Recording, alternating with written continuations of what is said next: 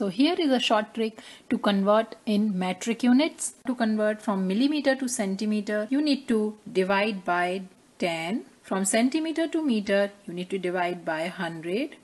From meter to kilometer, you need to divide by 1000. Similarly, from kilometer to meter, we need to multiply by 1000. From meter to centimeter, multiply by 100. And from centimeter to millimeter, multiply by 10.